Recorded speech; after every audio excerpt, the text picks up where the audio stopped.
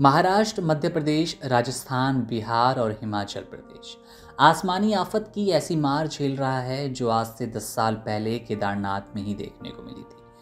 इतनी बारिश, इतना पानी, फ़सलें तबाह हो गई, घर टूट गए, पुल उखड़ गए, पुल टूट गए। पेड़ों के हाल मत पूछिए, मवेशियों की जान नहीं बची। लगातार मौत का आलम बढ़ता जा रहा है, चौवन से अधिक मौतें हिमाचल प्रदेश में हो गई। लेकिन ऐसी बाढ़ आती क्यों है? हर वर्ष ये आलम झेलना क्यों पड़ता है? इस तबाही को क्यों हमें स्वीकारना पड़ता है? इसके पीछे का कारण हम आज आपको बताते हैं। भारत तीन ओर से समुद्र, अरब सागर, हिंद महासागर और बंगाल की खाड़ी से घिरा है।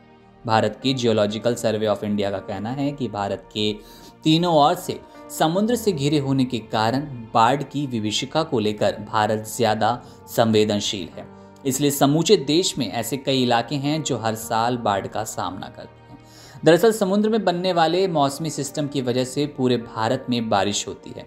इस दौरान समुद्री क्षेत्र में कई दबाव क्षेत्र बनते हैं, जिसके कारण सामान्य बारिश भी भारी बारिश में बदल जाती है। वहीं कई बार एक ही दिन में औसतन बारिश के मुकाबले कई गुना ज़्यादा बारिश हो जाती है, जिसकी वजह से नदी नालों में जल स्तर बढ़ जाता है और उनका पानी ओवरफ्लो होने से बाढ़ आ जाती है। वर्तमान में देश में बाढ़ का सामना करने वाले इलाकों की संख्या बारह दशमलव पाँच प्रतिशत है। बंगाल, ओडिशा, आंध्र प्रदेश, केरल, असम, बिहार, गुजरात, उत्तर प्रदेश, हरियाणा और अब हिमाचल प्रदेश। बाढ़ का सबसे ज़्यादा असर होता है।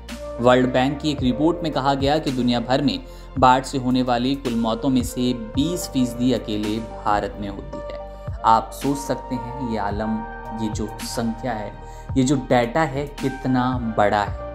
मानसून के सीज़न में तीन से चार महीने तक देश में भारी बारिश होती है। इसके कारण नदियों का जलस्तर बढ़ जाता है, जो बाढ़ का कारण बनता है। एक दिन में 15 सेंटीमीटर या उससे अधिक बारिश होने पर नदियों में पानी तेज़ी से बढ़ता है और ये बाढ़ का रूप ले लेता है।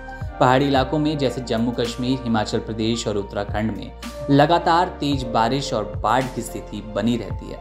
भारी नुकसान हुआ, लोगों की जान चली गई, फ़सलें तबाह हो गई और नदियाँ उफान पे हैं।